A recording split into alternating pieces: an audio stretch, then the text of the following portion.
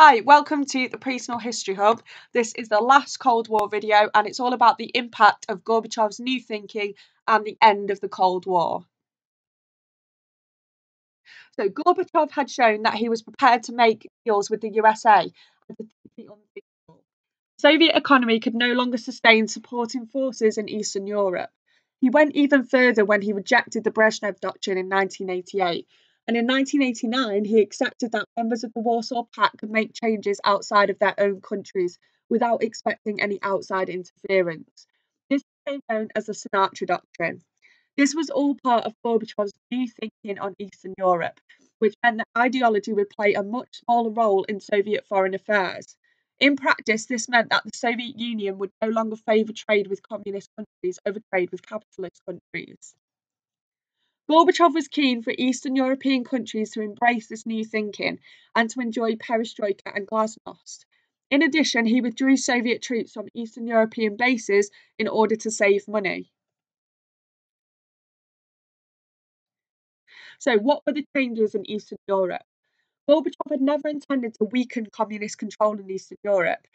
As he intended in the Soviet Union, he wanted to strengthen communism by reform, However, once reform in Eastern Europe started, he was unable to contain it. Reform started in Poland first. In 1989, a non communist government was elected. The party was called Solidarity, and Mazowiecki became the first non communist prime minister in Eastern Europe. In the same year, a number of political parties were formed in Hungary, and free elections were proposed for 1990. Gorbachev did not interfere and began to withdraw Soviet troops from Hungary.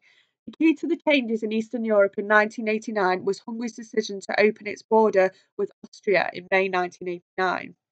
This meant that there was now a hole in the Iron Curtain. This created a way for East Germans to move to West Germany. They could go through Czechoslovakia into Hungary, then cross in Austria, and finally to West Germany.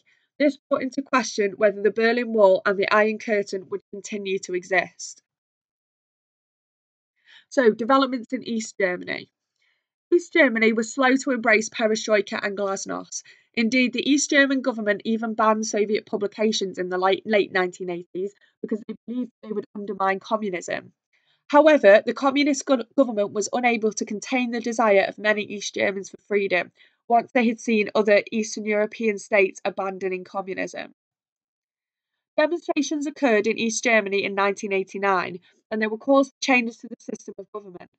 Gorbachev visited East Germany in October 1989 and it informed political leaders that the Soviet Union would not become involved in its internal affairs. Demonstrations continued, and on the 4th of November, the largest demonstration in East Germany's history took place, with over 1 million people in East Germany demanding democracy and free elections. As soon as democratic elections were announced in Hungary, there was a mass movement of East German citizens through Hungary to West Germany. As a result, the East German government was forced to announce much greater freedom of travel for East German citizens. On the 9th of November, the East German government announced the opening of the border crossings into West Germany. The people began to dismantle the Berlin Wall. Within a few days, over 1 million people per day had seized the chance to see relatives and experience life in the West. West and East Germany were finally reunited on the 3rd of October 1990. Tensions in the world seemed to ease by the day, and while the power of the Soviet Union seemed to be dwindling so quickly, the new Germany joined NATO, and in 1991 the Warsaw Pact was dissolved. So there is people that this picture is people breaking down the Berlin Wall. So what happened with that collapse of the Soviet Union? Gorbachev was now undoubtedly the darling of the West. He was widely respected for his willingness to reform and the fact that his policies had encouraged the breakup of Eastern Europe. He was seen as a hero to many in the world and was awarded the Nobel Peace Prize in 1990. However, at home in the Soviet Union, his policies were treated with suspicion and led to even greater criticism. Leading members of the Communist Party believed that perestroika and glasnost had weakened communism rather than reviving it.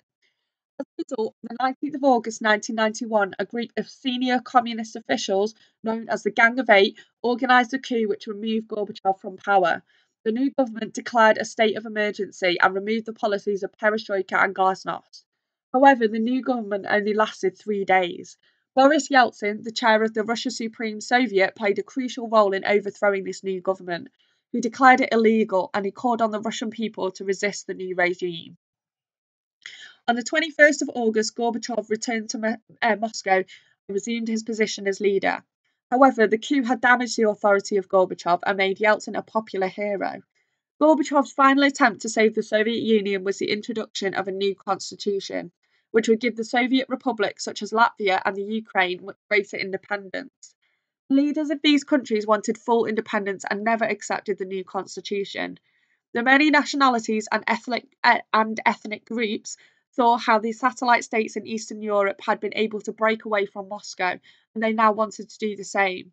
In 1990, the Baltic states of Estonia, Latvia, and Lithuania declared themselves independent, which was accepted by Moscow in 1991.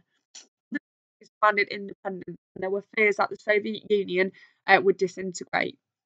Gorbachev announced dissolution of the Soviet Union on the 25th of December 1991, and it was split into independent states. So there are the former states of the Soviet Union all split down into independent states. So the end of the Warsaw Pact. As Soviet control of Eastern Europe fell away, it became obvious that the Warsaw Pact could not service. The pact was, an alliance that united the communist states of Eastern Europe against the capitalist states of the West. However, as first Poland, then Hungary, and finally East Germany all rejected communism, the pact no longer served any purpose.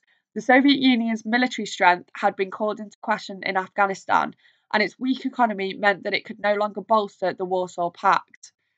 Furthermore, internal divisions and demands for independence from some of its own socialist republics meant that the Soviet Union was on the verge of collapse. The Soviet Union had been the cement which had kept the Eastern Bloc together. As the cement dissolved, so did the Warsaw Pact, and military cooperation stopped in early 1990, and the pact was formally ended in July 1991. George Bush Sr., the American president, had declared at the Malta summit between him and Gorbachev in 1989 that the Cold War was over. However, communism was still undefeated, and the Russian coup of August 1991 overthrew Gorbachev could well have uh, revived rivalry with the West. Therefore, it was the fall of the Soviet Union in December 91 that finally ended the rivalry between communism in the East and capitalism in the West. Thanks for watching. Don't forget to subscribe to the Priestnall History Hub.